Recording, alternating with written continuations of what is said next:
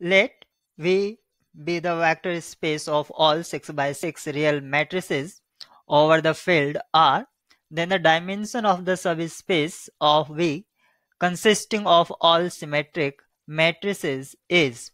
Four options associated this problem is given to us and we have to find right one. Because this is the dimension of subspace and it will be unique. So no two or more options may be right. Only single one is correct here. Now V is a vector space. Is V is a vector space. All 6 by 6 matrix such that M transpose equal to M. This is the way of writing vector space in compact form as M is a symmetric symmetric matrix. And entries of this matrix is coming from the real field R. Means all entries will be real. So consider a 3 by 3 matrix A B C D E F. Then here E C B. This type of matrix known as symmetric matrix. How to make a symmetric matrix in easiest way? Write some numbers above the this diagonal element and same below the diagonal element. It means if you revolve if you revolve this matrix along this diagonal entries will be same entries will be same so you can understand this problem in a nat natural way how to make a symmetric matrix by revolution. Now this is not our question. Our question is related to the dimension. Dimension of V. We have to find out.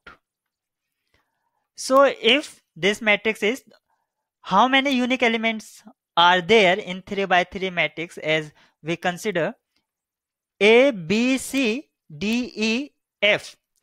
These elements are only unique and other if you know the value of here then here also if you know the value of C then this value of C you will it means if above the diagonal elements or below the diagonal elements you know then half elements you already know it means you can go backward.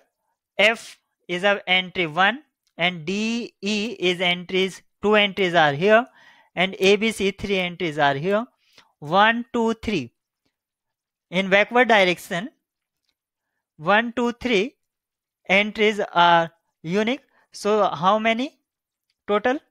1 2 3 3 and 3 6 so dimension of dimension of 3 by 3 matrix M is 6 and uh, you can write uh, or understand by make unique element.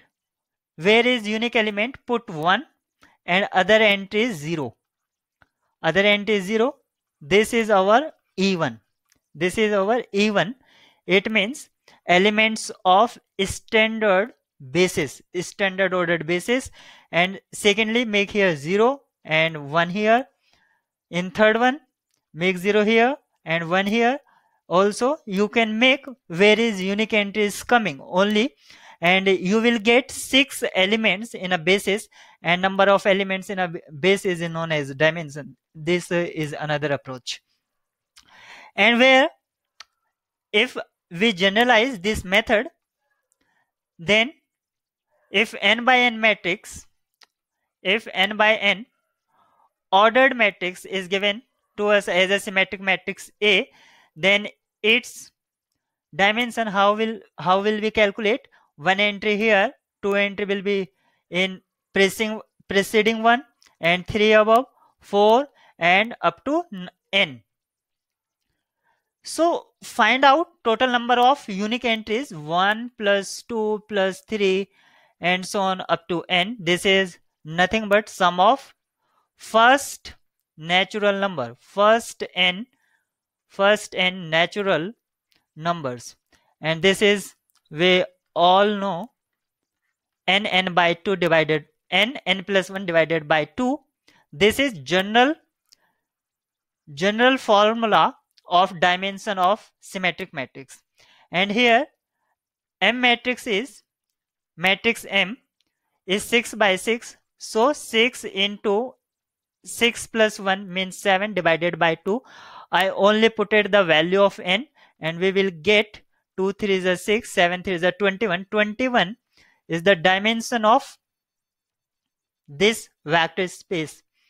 So this is asked about only symmetric matrix but whenever asked about uh, skew symmetric matrix then this diagonal element these diagonal elements will be zero.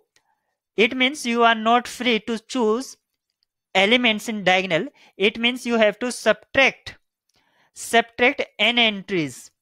So formula was n n plus 1 divided by 2 minus n will be the general formula for skew symmetric matrix most of question asked about symmetric sometimes. Skew symmetric whatever the question? Put only the value of n you will directly get the answer. Option c is right one here